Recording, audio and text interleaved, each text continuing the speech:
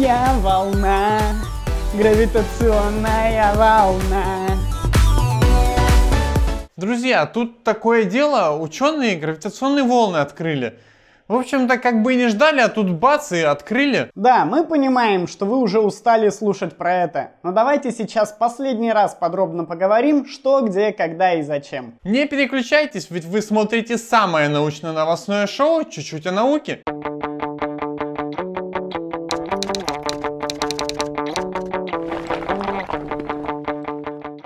Начала давайте попробуем разобраться, что такое эти диковинные гравитационные волны. Как мы все знаем, ну или по крайней мере слышали, все тела во Вселенной притягивают другие тела. И называется эта сила гравитация. Чем тяжелее тело, тем сильнее оно тянет к себе другие тела. А в свою очередь гравитационная волна это колебание этой самой силы гравитации. То есть тела притягиваются то сильнее, то слабее. То есть, если предмет попадает под гравитационные волны, то он будет попеременно растягиваться и сжиматься. И возникают гравитационные волны тогда, когда тело начинает двигаться с переменным ускорением. Вы тоже можете создать гравитационные волны, например, начав крутиться.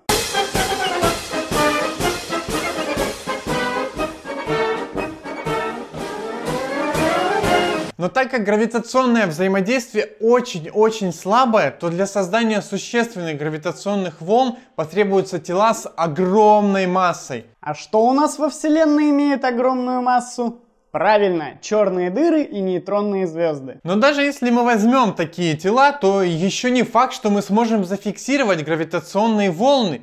Ведь они, несмотря на то, что проходят сквозь все препятствия, все равно ослабевают с расстоянием. А в космосе расстояния ой-ой-ой какие огромные. Поэтому до нас может дойти волна, которую мы попросту не почувствуем. Но не стоит думать, что гравитационные волны это что-то диковинное для ученых.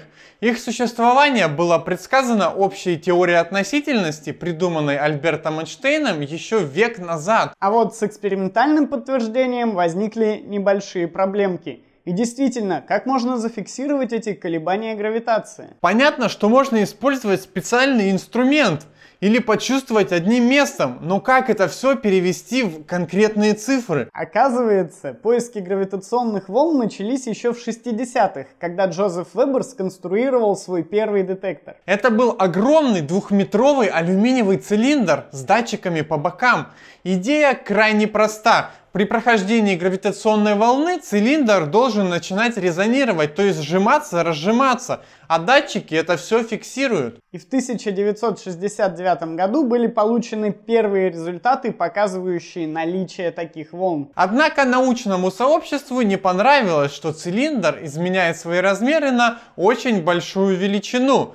Ученому поставили дизлайков, обозвали в комментариях, начали писать в личку, короче, захейтили. Да и к тому же подобные детекторы, созданные в других лабораториях, ничего не показали. Однако усилия выбора не прошли даром и дали толчок целой области исследования гравитационных волн. Что после долгих размышлений привело к интересной мысли. А почему бы нам не использовать интерферометр Майкельсона, но только очень больших размеров? Так и сделали, построив несколько таких штуковин в разных частях света. Действие интерферометров, как несложно понять из названия, основано на эффекте интерференции света. Когда вы складываете два луча света и на выходе можете получить или много света, или вообще ничего. В интерферометре исходный пучок делится на два, где далее каждый луч летит по своему каналу, где встречает зеркало и отражается обратно. Когда он возвращается обратно, то складывается со вторым пучком. И в зависимости от разности путей этих двух лучей, на выходе мы видим или не видим свет. По умолчанию, то есть без гравитационных волн,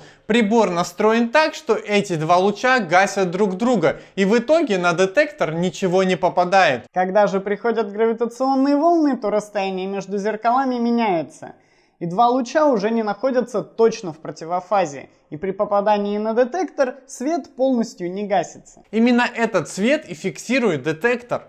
Но здесь есть одна большая проблема, которая не позволяла зафиксировать эти волны раньше. Так как источник этих волн находится далеко, то до Земли эти волны доходят очень слабыми. Так, если бы человек был в непосредственной близости от источника этих волн, его бы сжимало всего до нескольких сантиметров и разжимало обратно. Но эти же самые волны, доходя до Земли, вызывают изменение роста всего на доли радиуса атома. Вдумайтесь, радиус атома, а колебания еще меньше. Конечно, блин, их трудно поймать. Поэтому физикам пришлось очень сильно попотеть, чтобы нивелировать влияние различных сейсмических факторов и получить точный результат. Конечно же, создание и исследование на таких детекторах это дело рук мировой науки, где принимают участие и ученые из России. Но все же, давайте вернемся к открытию. Заветные гравитационные волны были зафиксированы 14 сентября, а не 11 февраля, как разносят СМИ.